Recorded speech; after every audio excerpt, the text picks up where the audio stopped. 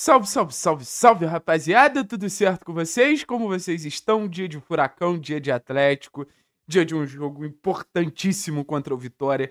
E quem falar que não está nervoso para esse confronto direto pode ter certeza que tá mentindo, porque apesar de achar que o Atlético tem boas chances no jogo, sempre rola aquela pulguinha atrás da orelha, né? Pô, será que a gente vai repetir a atuação contra o Cruzeiro? Será que o clima não tá leve demais para a situação que a gente ainda se encontra? Será que a gente ainda não precisa de um pouquinho mais de um cenário de pressão para a gente ter um Atlético atento, um Atlético competitivo de 90 minutos? Enfim, 16 e meia da tarde, a gente vai estar ao vivo aqui no canal para assistir o jogo junto. Fica o convite para vocês assistirem com a gente e a gente tirar todo esse tipo de dúvida em relação ao que o Atlético vai aprontar contra a equipe do Vitória. Vou pedir para você deixar o like, vou pedir para você se inscrever no canal, porque o assunto agora é dupla de ataque. E o dupla de ataque é um assunto que o torcedor do Atlético ele entende muito bem, né? Se pensar rapidamente, me vem na cabeça, por exemplo, Rony Marco Ruben, dá para considerar uma boa dupla? Talvez a última dupla de ataque recente que o Atlético teve como dupla, dupla mesmo. Aí você vai para Cirino e Ederson, aí você vai para Washington e Dagoberto, dois jogadores que não perpetuaram a história, mas enquanto estavam juntos foram muito bem, o próprio Washington e Denis Martins. Acho que dá para falar de Kleber e Alex Mineiro, a dupla campeã brasileira. Dá para falar de Paulo Rink e Oséias, uma dupla muito importante para a história do clube. Então o torcedor do Atlético ele está acostumado. Eu vejo inclusive muitos torcedores do Atlético pedindo um esquema com dois atacantes exatamente por esse histórico favorável que existe no clube. Eu não vou falar que é uma dupla, até porque, primeiro, jogaram muito pouco e a gente sabe que a gente joga num trio de ataque. Mas se você for parar para pensar, a sintonia do Pablo com a sintonia do Julimar é algo que é bem legal. Vamos voltar para a primeira rodada do Campeonato Brasileiro? Assistência do Julimar para gol do Pablo. Aí a gente vai para o jogo contra o Vitória no primeiro turno. Corta a luz do Pablo para o gol do Julimar. Aí a gente vai para o último jogo contra o Cruzeiro assistência do Pablo para o gol do Julimar, assistência do Julimar para o gol do Pablo. No final das contas, para jogadores que jogaram pouco juntos, a gente teve pouco essa combinação ao longo da temporada de Pablo e Julimar. Eu acho que dá para dizer que existe um match muito claro entre os dois. E um match que, no momento que o Atlético precisa de gols, precisa ser explorado. O Atlético, nesse momento, ele só não está numa condição mais tranquila na tabela porque é um dos piores ataques da competição. Eu tenho visto até vários comentários no canal credenciando muito mais a defesa do que o ataque, mas não é. A defesa tem entre as 10 melhores, ou décima primeira ali, óbvio que conforme o Atlético vai tomando gol, vai caindo, mas ainda tá numa posição mediana. O ataque é um ataque de zona de rebaixamento. Então, assim, quando você tem o Pablo e quando você tem o Julimar, cara, é, se entendendo, né? Porque a, a gente precisa levar em consideração que depois de cinco técnicos na temporada, cobrar algum jogo coletivo do Atlético, cobrar alguma inserção ali, uma interação ali, é muito difícil, porque os jogadores passaram por muitos técnicos, muitas ideias, muitos conceitos. Então, quando a gente tem isso ao natural, é muito legal e acho que a gente tem que explorar, como por exemplo está acontecendo com o Eric e Filipinho, os dois se entendendo ali. É um entendimento quase que automático. Aí você vai pro lado direito, pô, você tem um bom entendimento entre Nicão e Coelho. Então acho que a formatação do time do Atlético talvez não seja uma formatação de planejamento, mas de um match, pô, muito importante, mas de um match quase que automático. Aí você vai pensar, pô, Thiago, mas por que Pablo e Julimar acabam, pô, se entendendo também? Não é à toa. Eu acho que tem uma questão tática muito interessante dentro desse cenário que a gente traz aqui. O primeiro é em relação ao Pablo. O Pablo é um centroavante, o Pablo é o camisa 9, só que em muitos momentos é o Pablo saindo da área para fazer o papel de garçom.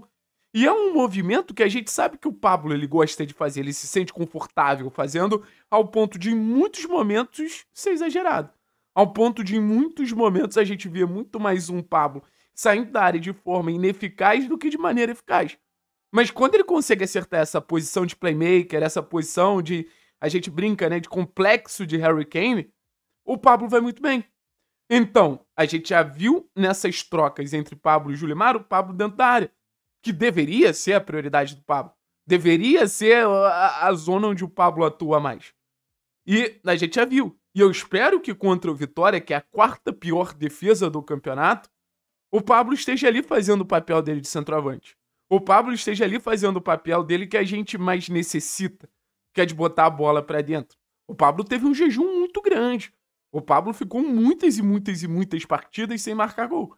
Mas quando o Pablo sai para construir e essas saídas elas precisam ser pontuais, ele vai encontrar um jogador muito agressivo, um jogador muito objetivo.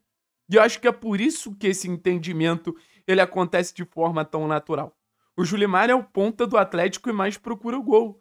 O Julimar é o ponta do Atlético que mais vai em direção ao adversário. Muito mais que Coelho, muito mais do que o Canóbio. Então o movimento ele passa a ser coordenado a partir do momento que o Pablo sai, porque tem alguém entrando. Tem alguém ocupando esse espaço. O grande ponto é que quando o Pablo sai e ninguém preenche. Mas o Julimar, que tem esse feeling de camisa 9, já jogou como camisa 9 ao longo da temporada, e não é à toa que nos últimos jogos que o Julimar marcou, o Atlético venceu no Campeonato Brasileiro, você tem um movimento coordenado, você tem um mecanismo coletivo de um Pablo potencializando o Julimar e de um Julimar potencializando o Pablo. Então, olha como não é à toa. Então, assim, contra o Vitória, desculpa, gente, precisei dar uma pausa para ligar o ventilador que tá muito calor, mas contra o Vitória, eu espero que em muitos momentos você tenha a subida do Esquivel abrindo o campo de um lado, Coelho abrindo o campo do outro, e você tenha Nicão e Julimar por dentro, mas Nicão se aproximando muito Pablo, em alguns momentos fazendo até uma dupla. Como, por exemplo, foi o gol que acontece contra o Vitória no primeiro turno. Que o zagueiro ele marca o Pablo, tá visualizando o Pablo, o Pablo faz o corta-luz, o Julimar numa faixa central, como se fosse um segundo atacante. Ele vai lá e crava. O Julimar é um jogador que eu gosto muito, cara. Eu queria destacar o Julimar nesse vídeo, porque eu acho que o Julimar, ele, pô, me passa muito mais confiança começar o jogo com o Julimar do que ser o Julimar. Por causa dos gols, por causa da capacidade física, por causa da capacidade de duelar, de ganhar, pô, no mano a mano. É um jogador que tem um bom contra um, é um jogador que tem uma boa capacidade de, de se impor ali, tanto no, no na profundidade quanto trazendo o jogo para dentro. Eu gosto muito dessa imprevisibilidade do Julimar, sabe? Eu gosto muito. No, no, lance do primeiro gol, inclusive o gol do Pablo, você percebe que o Julimar pega a primeira bola e leva pro fundo. Ele induz o marcador a fechar o fundo dele. Aí a bola circula, volta no Julimar. Ele traz para dentro. Aí cruza e acerta o cruzamento, encontrando o Pablo no segundo pau. Então, assim, é um jogador que, que, que deixa um ponto de interrogação na cabeça do, do, do, marcador. Por exemplo, se faz muitas comparações entre Julimar e Canobi, até porque é uma disputa natural ali na ponta esquerda do Atlético. Eu vejo o Canobi como um jogador muito mais previsível quando vai para esse um contra um.